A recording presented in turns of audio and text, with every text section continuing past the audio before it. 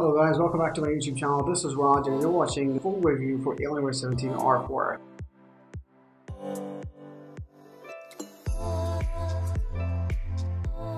I got this laptop recently about a month ago and I thought of reviewing it. You know, I, I put the unboxing and you guys had a lot of questions about it. So I, I want to go through it. So on the left side of the laptop, we got the lock port, we got the heatsink vent, we got the USB-C, USB 3.0, got the microphone jack, and the headphone jack. And coming to the right side of the laptop, you got another heatsink vent and a USB 3.0. They could have added more USB ports, but I believe because of the hard drive space and all the other additions inside the laptop, they did not add any other USB ports here, but they could have. On the rear of the laptop, we got another heatsink vent. We got the graphics amplifier port, and just beside that is a power adapter port. And then another USB-C, HDMI port, mini DisplayPort, Ethernet, and another heatsink vent. The speakers on the laptop are really, really nice. These are one of the best speakers you'll get in the market on any laptop of this size. The speakers are powered by Klipsch.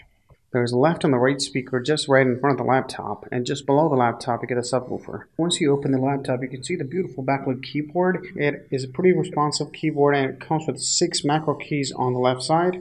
It also comes with a number pad and four macro keys on top of the number pad. The touchpad is really very basic one. It is responsive, it lights up, and it is using Synaptics touchpad driver. They could have also utilized the palmar stereo to make the touchpad a little bigger in size. Well, they haven't. The back of the LCD also consists of the Alienware logo, which lights up. And once you open the laptop, you can see the beautiful display that is about 120 hertz, and it says G-Sync panel. You can opt for a non-G-Sync panel as well, but this one that I have right now has a 120 hertz G-Sync panel. Down here, just below the Alienware logo, you can see the Tobii tracking. Looking at the back of the laptop, there are seven screws which you can unscrew to open the panel and do your upgrades.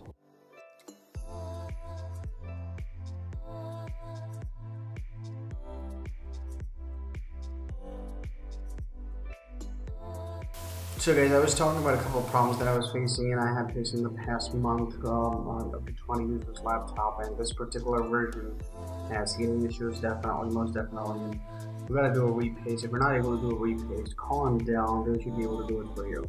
So if you're on 1709 with all security updates and blah blah blah kind of shit, and you're facing this problem, blue screen of death, especially while playing games, your laptop shuts down, giving you an error that critical process died. In my case, in my particular case, the uh, Intel SATA driver, Intel SATA controller was causing this problem. As soon as I got rid of that driver, that particular controller, it was all good to go.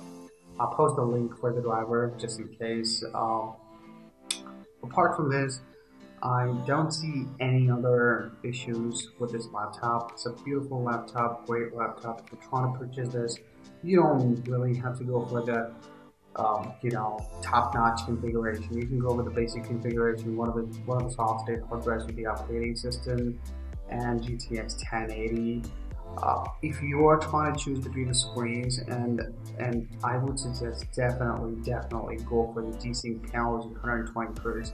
Once you play games on it, you would never want to go back. You always want to play games on 120 hertz display. It's beautiful. It's, it plays all games buttery smooth, and you don't have any lag, any stuttering whilst playing games.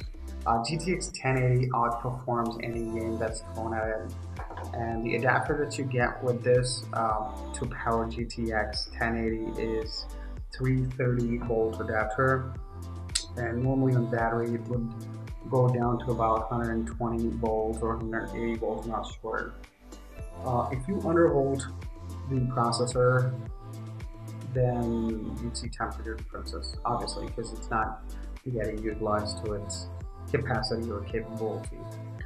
All in all, to give you a summary of this laptop, uh, pros of this laptop are basically it's a very, very, very durable, very nicely built laptop, beautifully designed, all the tone lights, all the customizations that you get with the Alienware Command Center. Speakers on this laptop are phenomenal, really good sound quality. I was facing a problem with the speakers in the beginning, I forgot to mention that, I'm sorry. Uh, in the in the beginning of the first week, I was facing problems with the speakers. They sent me the second time they sent me the speakers. They were good and they replaced them and everything worked fine after that. So really good sound quality, really good performance.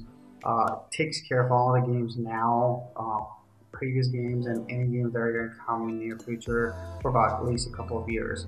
Uh, you do get a graphics amplifier port here, so if you want to upgrade, you don't really have to change your laptop. Just plug in another graphics card and you should be good to go. So you do get really good options for upgrading this laptop if you're looking forward to upgrade in terms of uh, in terms of the hard drive storage capacity of this laptop. You get one um, uh, one one slot for your SATA hard drive, two well three for your well, SSDs. So you get in total four hard drives that you're plug into this laptop. Apart from that, you have two memory slots, which is kind of the downside because if you're if you're into virtualization and you're doing a lot of rendering and and um, you know using softwares like uh, AutoCAD and stuff, you might need more than 32 gigs. I do have 32 gigs right now. So the content of these laptops are the weight of the laptop, the number of ports available on the laptop, uh, memory slots available, which are only two, could have even four slots, and then obviously the temperature issues. So they you would need to do a repaste. As I mentioned, if you're not able to do a repaste on your own, call Dell, tell them you're facing heater problems, you want to do a repaste. They should be able to hook you up with some uh, service support and uh, fix you up there that's all from my side. Thanks very much for watching this video. Um, sorry if you got bored in between uh, because the lengthy video, the entire idea was to share the entire experience that I've had with this laptop for the previous month. Thanks for watching my video. Please do post your questions in the comment section. If you have anything else that you want me to make a video on, or gameplays or any reviews, do let me know if it's feasible. I'll be more than glad to post that on my YouTube channel. Thank you very much. Uh, hit the like button, do subscribe to my channel and see you later.